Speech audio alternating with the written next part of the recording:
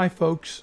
Uh, I just wanted to take a minute to uh, try to help uh, Christina on her problem with the uh, Z scores. And Brandon has outlined in detail how you do it uh, manually and using the tables or Excel. Um, I know some of you are tired of me suggesting using StatCrunch, but it is such an easy, easy tool to use and you have access to it. Let me just show you uh, how we do this. I'm going to bring up StatCrunch. I want to make it a little bit smaller so we can see it here. And let's just say that the answer is as Brian, Brandon, I'm sorry, um, suggested that the area between is 86%. So how do we find that? Well, in StatCrunch we go to Stat, Calculators, Normal. And the beautiful thing about StatCrunch is it draws our curve for us. This is the standard normal curve and that's what you need in order to get z-scores. This is a between problem according to the wording uh, of Christina and so we get our our rough curve and it shows the area between initially uh, minus 1z and plus 1z and that's 68%.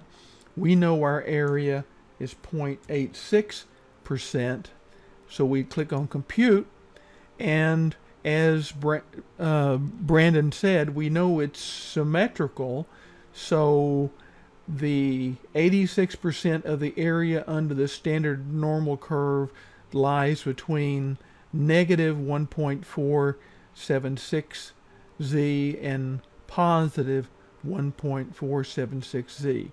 And as he said, that is the 7%. Let me, um, I'm going to go back to standard for a second.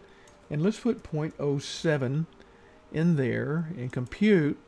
And um, here we see the left side of uh, the standard normal curve as, as Brandon described it.